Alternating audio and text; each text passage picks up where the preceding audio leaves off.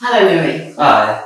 Uh, Louis, uh, you're just back from Yale NUS in Singapore after 12 months Yeah. uh, studying there. And you were a student at Auckland International College for three years, year 11 to 13.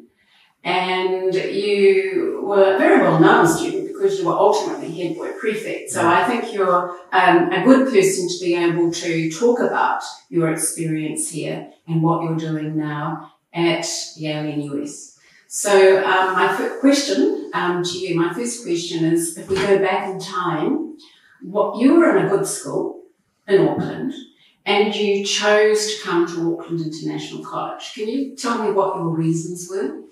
I ultimately decided to come to Auckland International College because I decided that I wanted more than what was available um, at my current school. I wanted to go international and go overseas for university, or at least have the opportunity and the ability to apply to overseas universities.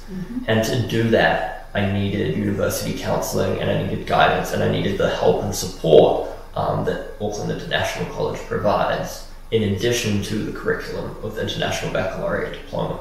Okay, so leaving your friends behind uh, at the end of year 10 and moving to a new senior high school, which was probably very different to what you were used to, how did you find it? What struck you once you came here as what were the greatest points of difference? Yeah, so I think the greatest points of difference um, would be the class size, um, and that has a lot of lead-on effects.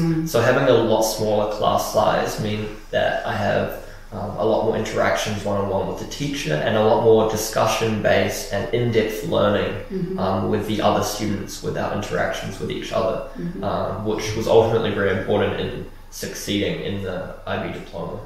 So, if you compare the atmosphere of an Auckland International College classroom with the classroom of a, a, a typical New Zealand high school, other than class size, what were the greatest differences that you found?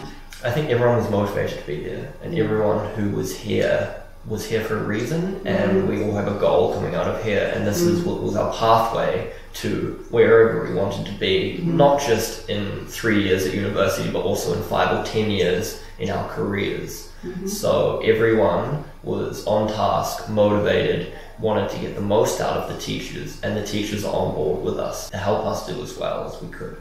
Okay, so moving on from arriving here and studying here to where you are now, which is at uh, Top University in Singapore, uh, I want to talk about how you feel that the school prepared you for university.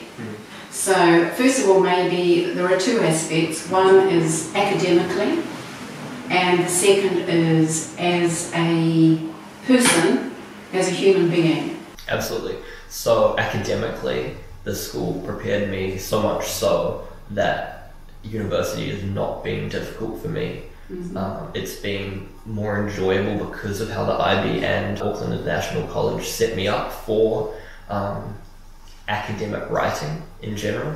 So the ability to be able to write an essay um, and get my ideas on paper um, in a concise way has been something which I learned at um, Auckland International College and something that has helped me unwaveringly throughout my first year at university.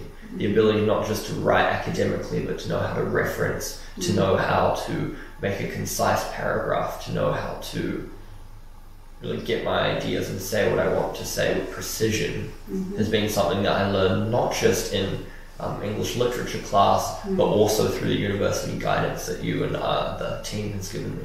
Okay, so moving beyond the academic preparation, if we uh, move now to, you know, you were, you were very involved in the school, you were involved in school activities outside the academics, um, and uh, have you carried that on Yale NUS? It's given me the ability to join similar um, opportunities in university where I've been able to take on leadership roles such as um, in student organizations and advisory committees to the school and to be able to liaise with um, upper management within my university as well as students and take these leadership opportunities on has been something that I wouldn't be able to do without the leadership opportunities that I was given in high school at Auckland International College. Okay, and moving to specifically to getting to university from Yes. Auckland International College. What kind of help or support did you find most beneficial while you were at Auckland International College? University guidance counselling was the biggest thing, which um, a, uh, gave me the opportunity to apply to over 20 colleges internationally Yeah. in the US, in the UK, in Hong Kong, Singapore, Australia. Mm-hmm. Even if I didn't want to take up these opportunities, at least I had the choice. Um, I had the deadlines that were given to me, and these are things that I just wouldn't be able to do without the guidance that was given to me.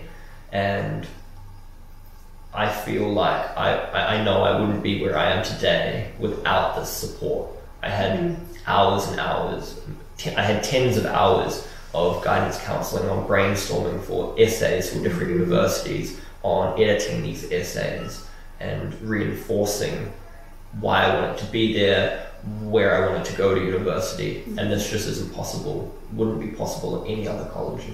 Okay, and, and you were rewarded, because you're now on a scholarship Yes. from Yale in US. So you had offers from very good universities around the world, including scholarship offers. So that must also be a plus. I wouldn't be where I am today without the help that was given to me.